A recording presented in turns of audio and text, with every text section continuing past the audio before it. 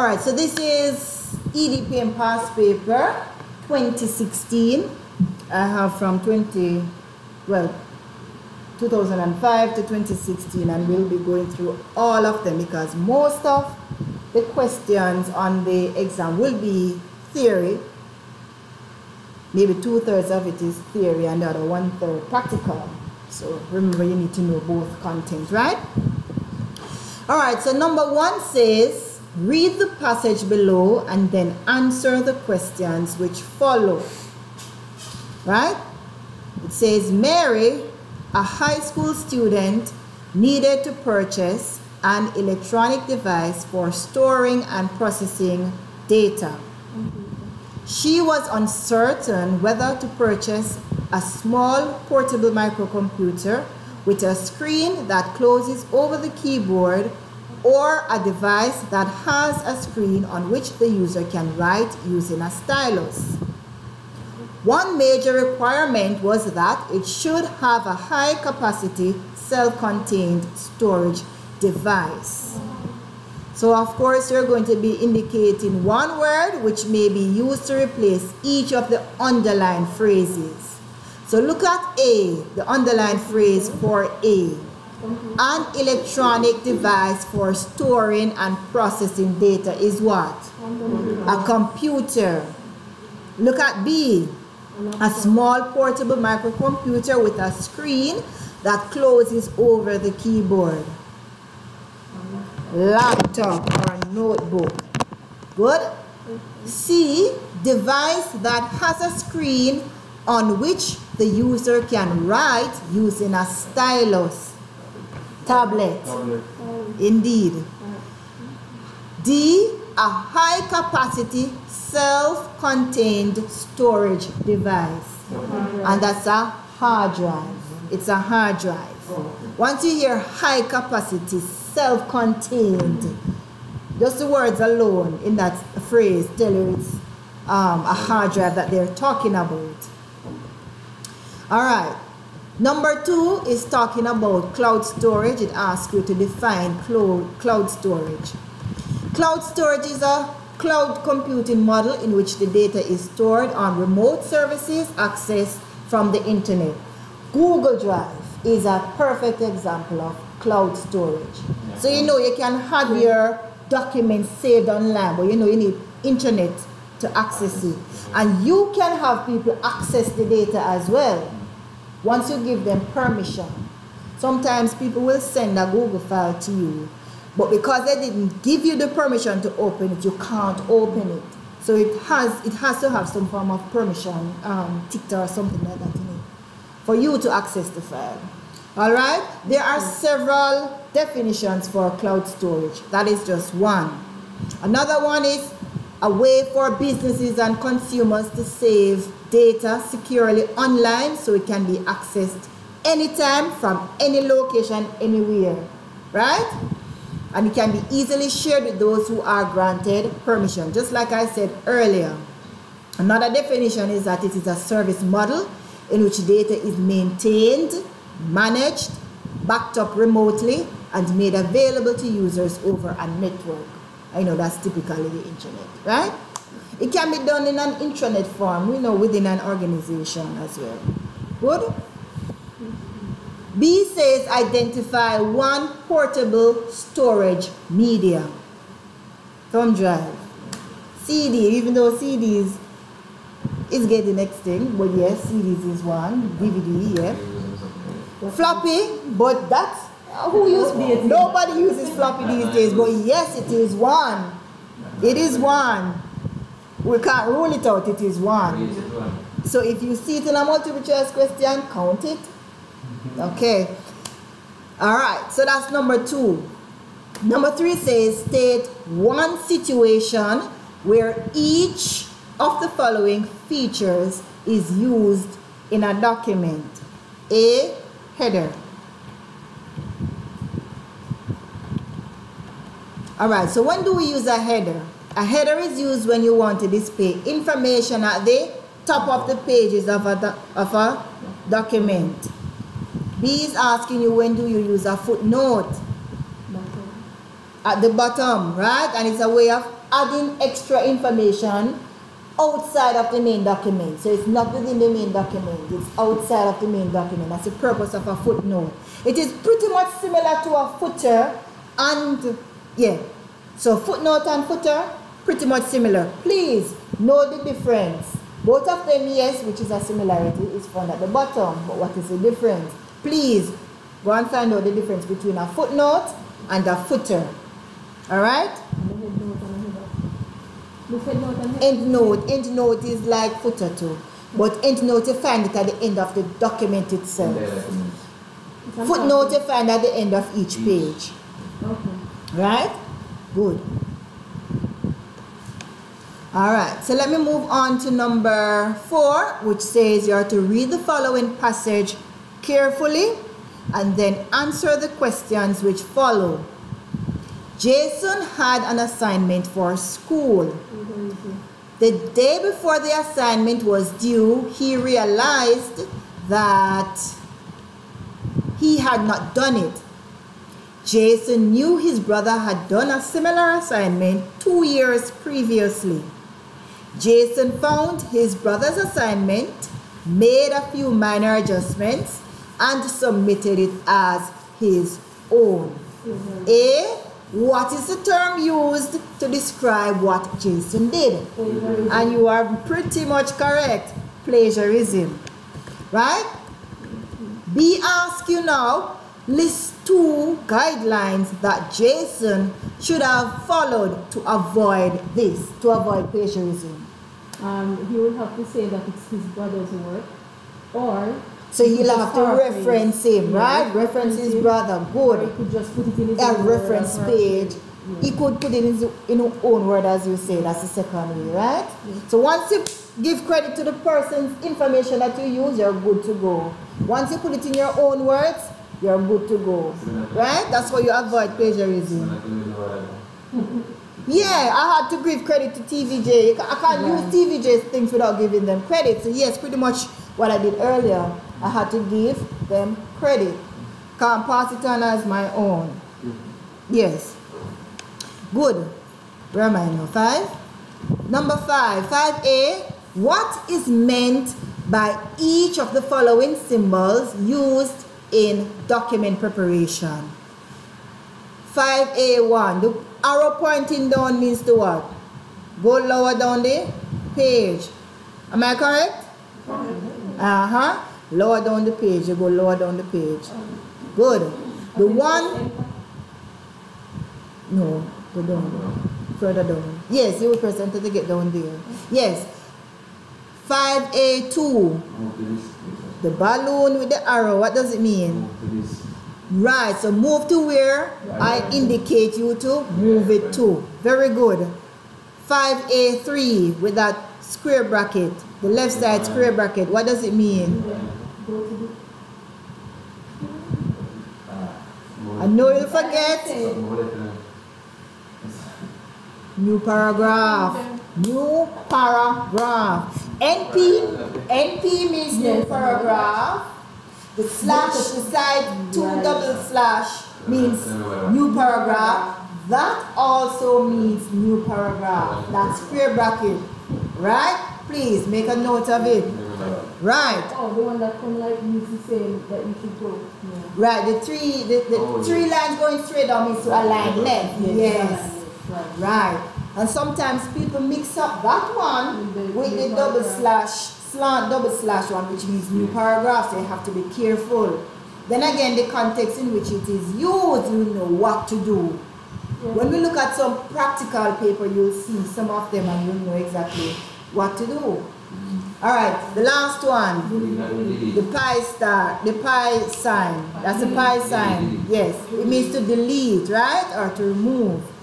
Good, and I remember, man. Yeah. All right. All right, so those were the answers. B says you're to expand each of the following abbreviations. SHD, yes. WL, will, will. Double D is would. Double L is will. AC, account. BN, bin. Nice. Right- Oh, but it's right there. All right. All right, so it says, number six says, carefully examine the diagram below and then answer the questions which follow. A says list file the files shown in the diagram above in chronological order based on the metadata which is the date modified right so look at the document library. Look at it look, looking at it? So was it modified by the date? chronological order yes. Yes. so it means the most recent document would be at the top. Good? All right so we have breadfruit recipe which is april 1 2016 balance sheet which is march 15 2014 invitation january 10 2015 flyer june 20 2015 addresses august 1 2013 so in chronological order metadata date modified which would come first? First, 2013. 2016. 2016 which is breadfruit recipe april 1 2016 so it would still be at the top. Which one would follow? So that's invitation january No. june June. flyer June. june would come would be more recent than january January. right so it would be followed by flyer june 20 2015 then invitation january 10 2015 then you'd have balance sheet which is march 15 2014 then addresses august 1 2013 and the answer is right there so in chronological order that's what it would be. The most recent would appear first. Okay? All right. B says list four types of metadata other than data modified. So what is metadata though? Metadata is what you use to identify a particular document. What do we use to identify documents? The name, file name. What else the folder, the folder in which it is saved or located. What else? size, The size. What else? That's it? type. The type. All right. So the name, the size, the folder, the type. The name, the type, the name, the size, the folder, and the date modified. Right? That's your metadata. All right. Number seven says there are spelling errors in the passage below. Read the passage carefully and then answer the questions which follow. And of course, you will have English type things in your EDPM documents because it deals with document preparation. So you need to know how to spell, you need to know your grammar and all of those things. So things like that will come and they will put it in multiple choice question just the same. All right, so it says, I have been impressed by the structure and content of the CAPE, and in particular, the flexibility to offer various combinations mm. of breadth and depth. The inclusion of core courses is also helpful in preparing students in higher education in an international context. In examining the syllabus content and duration of CAPE courses, we have concluded that the qualifications resulting from two subject courses are comparable to, to GCE Advanced Level 2 level, that is in accounting, bi- biology, chemistry, French, history, literatures in li- English, mathematics, physics, and Spanish, and should be acceptable acceptable entry qualifications for most degree programs. Good, so it says now circle the errors in the passage, but we're going to speak about them instead of circle it. And then it says you have to write the corrected version for each of the errors circled in A above. And then they give you an example. So level was incorrectly spelled, right? Yes, Am I correct? We should have only have one L at the beginning and one L at the end. Which other error did you find? combination. Subject. We should be subject. Combination. Combination, which should be combinations, right? Impressed, which should have been not a T but a ED, an ED, right? Programs should have two M. If you're going to spell it out like that, it should have two M's, right? You only use one M if you're going to cut off the ES. If you're going to have just P R O M G P R O G R A N, leave it there. If you're going to use the one, I think it's English and American spelling. One is English, yes. One is British, one is um, American. Right. So those were the errors that you, you, you would find. And of course, when you're rewriting it, you would have written it using the corrected um, version, the correct words. All right. Number eight says 8A. State two examples of each of the following types of software. 8A1. Application software. and of course, Microsoft Word, Microsoft Excel, Microsoft PowerPoint, Microsoft Access, Microsoft Publisher, any of those could have been used. What about 882 operating systems? We in here use Microsoft Windows.